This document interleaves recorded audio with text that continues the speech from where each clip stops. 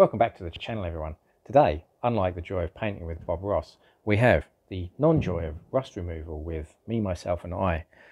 Today I'll be showing you how you can remove the rust out of the bottom of your classic car door, which is very common on most classic cars.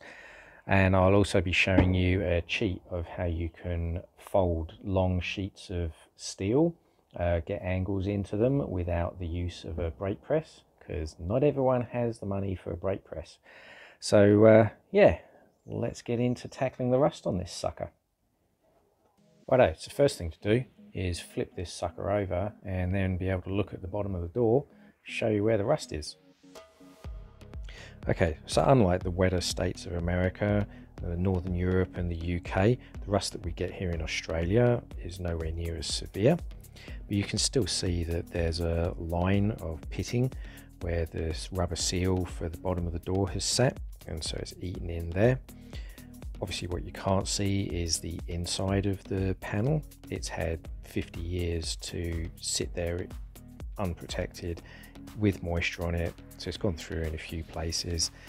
And I would estimate that out of the 0.8 mil of steel uh, thickness that it's probably down to 0.5 0.6 uh, overall the other thing, the main reason I wanted to get in here is it has started to bloom or swell between the spot welds and there's really no way to get into that area apart from removing one of the panels to be able to clean the rust up and um, treat it. So what I'm going to do is cut the whole area out and remake a new panel. You can buy aftermarket repair panels for the bottom of the doors. Uh, I've had to do that once in the past when I had no option, but honestly, um, they're made of cheap, thin steel. The edges of them are razor sharp. Um, they're pretty crap quality with the pressing. So, for me, because I can just repair a small section, uh, I'm just going to go ahead and make up my own repair panel and show you a cheat of how to do that without a brake press. Uh, but first off, let's mark it up and cut out the old crap.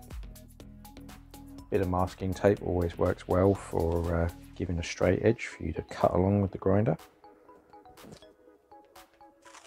Because I'm normally pretty good, but there are times when for some reason my aim is really crap.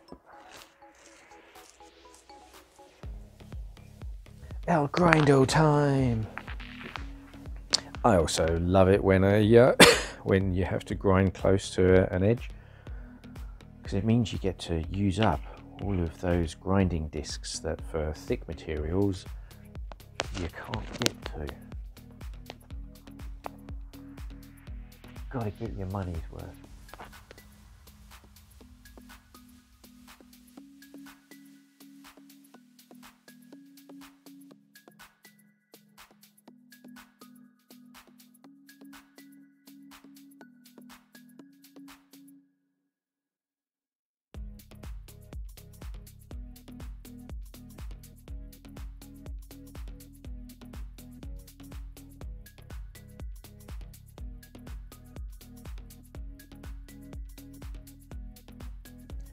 Righto, so how do you go about bending long sections of sheet steel when you don't have a brake press?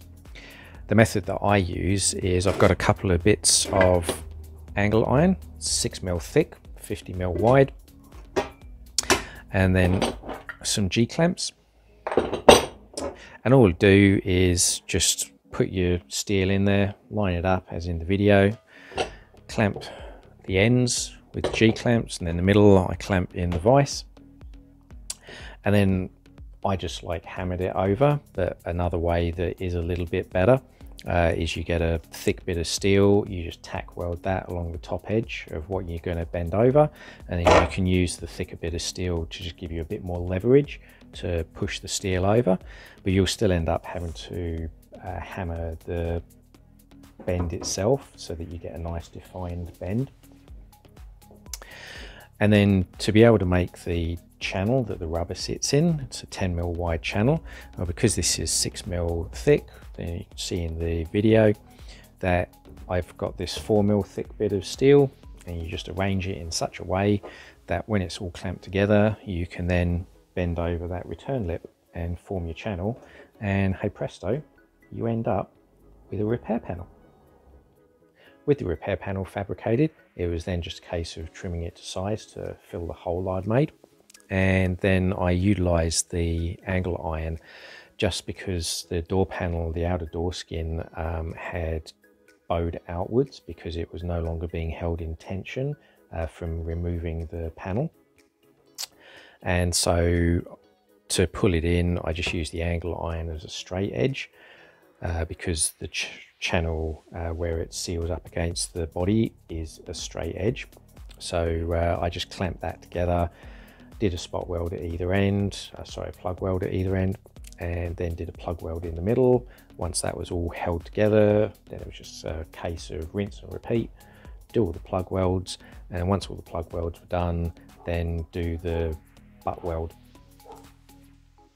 And the, the dog decides to, to bark because, you know, filming with nature never goes as you planned. They always say, don't work with children or animals or your neighbor's dog. Yep. Anyhow,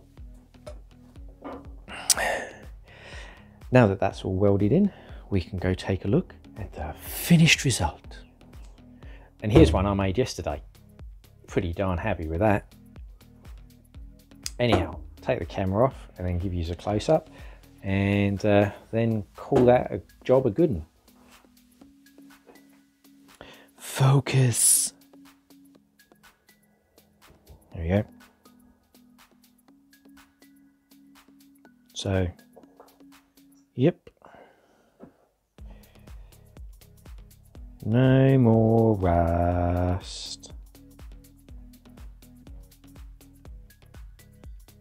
That's just where the three plug welds are for the uh, inner strengthener for the hinge. And then probably like panel beat that flat. So that's the only area. Maybe I'll stick another plug weld in it. On the whole turned out pretty darn good. Almost ready for paint righto ta-da one repaired door pretty happy with how that came out like I says, the technique is universal for most classic cars. They have a similar construction and uh, like I says, it's quite easy to make up your own repair panels. You don't necessarily have to have expensive tooling to do it, uh, which is always handy because not all of us are like, you know, well off. I know I ain't, I'd love to be, but hey ho. Anyhow, um, yeah, if you found the video useful, then um, please smash that like button. If you think someone you know will find it handy, then do share it around. And of course, if you like what I get up to on my channel, then please subscribe. And uh, yeah, on to the next task. Catch you later.